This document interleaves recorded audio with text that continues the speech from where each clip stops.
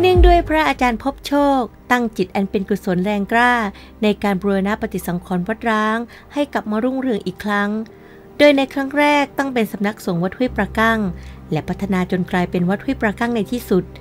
ปัจจุบันวัดห้วยประกั้งมีความงดงามอลังการ และเป็นศูนย์รวมใจของพุทธศาสนิกชน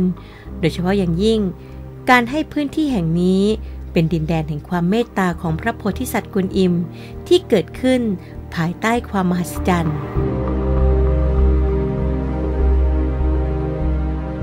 เจ้าแม่กวนอิมวันนี้ก็แปลกประหลาดมากเลย จริง ๆ ตัวเองกำหนดวันไว้เรียบร้อยแล้ว แต่เมื่อถึงเวลาแล้วไซก็คงฟ้าดินเป็นผู้กำหนด นั่นหมายถึงพระโพธิสัตว์กวนอิมมีความพร้อมในวันนั้น ตรงกับวันที่ 5 เดือน 5 2555 เป็นวันที่ตอกเสาเข็มหรือเป็นวันที่เริ่มวางศิลาฤกษ์ ในการสร้างองค์พระโพธิสัตว์กวนอิมในวันนั้นวันที่ตอกเสาเข็มจำได้ว่ามีเงินสดในมือ 4 0 0แสนบาท แต่ค่าตอกเสาเข็มรู้สึกจะหลายล้านนะสี่ห้าล้านบาท แต่ทั้งนี้ทั้งนั้นเชื่อว่าเป็นเทวดาดลใจให้คนนั้นมาร่วมบริจาคกกับเรา หรือเป็นองค์พระโพธิสัตว์กวนอิมที่ไปดลจิตดลใจ ซึ่งบางครั้งใช้เงินถึงหลายล้านบาท แต่ก็มีใจ ค่ในข้ามคืนก็เคยเป็น ช่างที่มาทำก็เป็นสิ่งที่แปลก หลังจากที่เขาก่อสร้างอยู่ที่นี้ ก็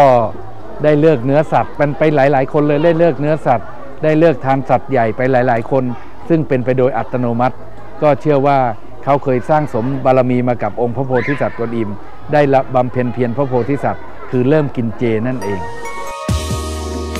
วัดห้วยประกั้งแห่งนี้ก็เช่นเดียวกัน ที่ยึดมั่นในการละเว้นการเอาชีวิต สืบสารประเพณีกินเจ ซึ่งในแต่ละปี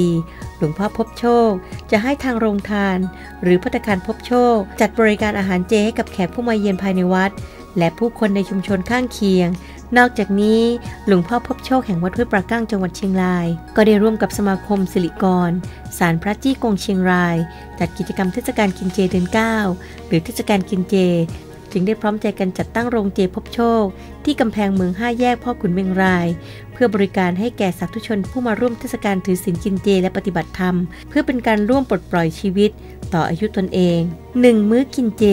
หมื่นชีวิตรอดตาย ซึ่งณจุดนี้ทางวัดห้วยประกั้งก็ได้เปิดจุดบริการอาหารเจฟรีให้กับประชาชน โดยไม่คิดค่าใช้จ่าย นับว่าการกินเจนั้น นอกจากจะเป็นการสร้างบุญกุศลด้วยการละเลิกเพื่อชีวิตแล้ว